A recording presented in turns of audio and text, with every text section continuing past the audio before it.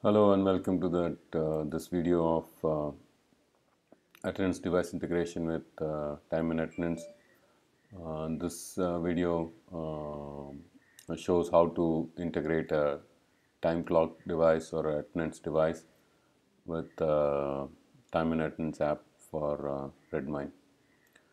So for this demo, we have chosen ESSL model number K20 as our attendance device, and that attendance device is connected to a local uh, desktop, which collects all data from the attendance device, and then it will transmit the data over FTP to the Redmine uh, server.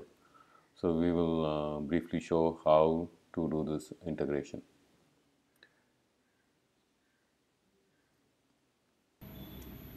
The device we integrated was uh, ESSL model K20. For more information on their device, you can check out their website. Once the employee scans in, their uh, clock in time will be recorded into the device and uh, then transmitted over to the computer it's connected to.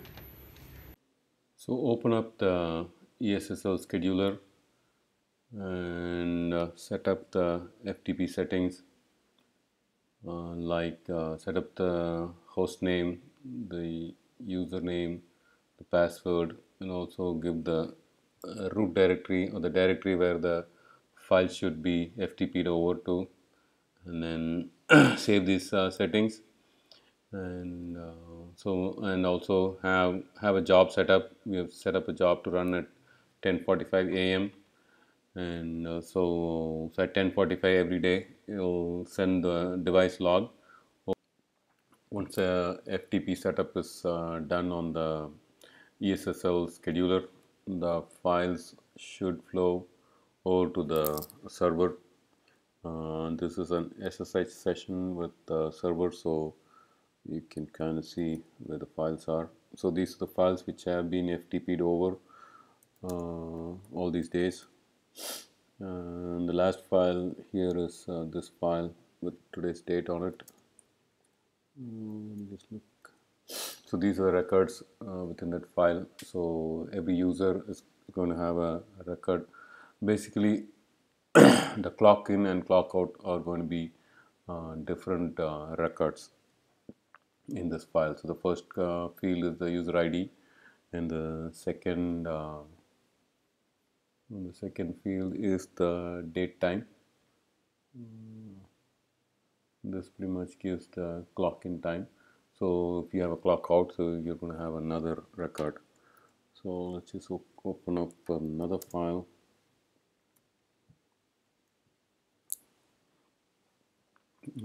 So you can actually see uh, the user id 53 41 54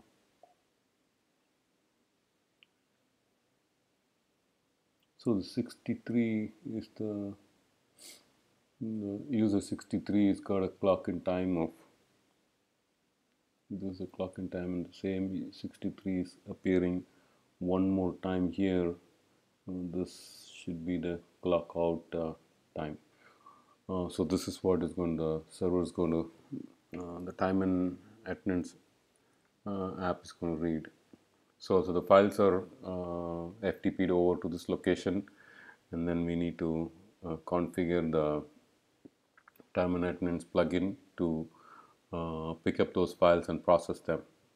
so on the on the plugin configuration go to the attendance tab and then say uh, auto import and then say uh, when you want the scheduler to run so we have set up the scheduler to run every one hour and then uh, enter the path uh, to look for the files. And then you can set up the file details here. So whether it's going to have a header or not and what is the field separator and and then this is this is where you set up what columns the file has. Right now we've we're just saying it's got an id column and a uh, date time. So since uh, uh, we can just say start time because so these are the two columns it's going to look for.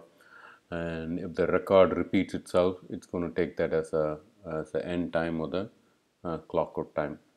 So once these are set up um, the data uh, from the attendance device uh, will be FTP'd over to the server where the Redmine uh, is running. And then once uh, the scheduler is set up on the Redmine app it'll automatically pick those files and import them into the into the app. And then you can clearly and you can see those uh, clock in and clock out time within the app.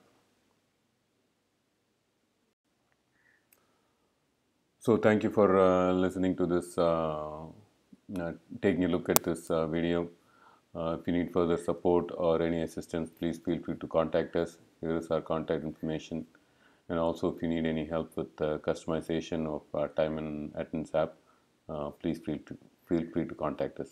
Thank you.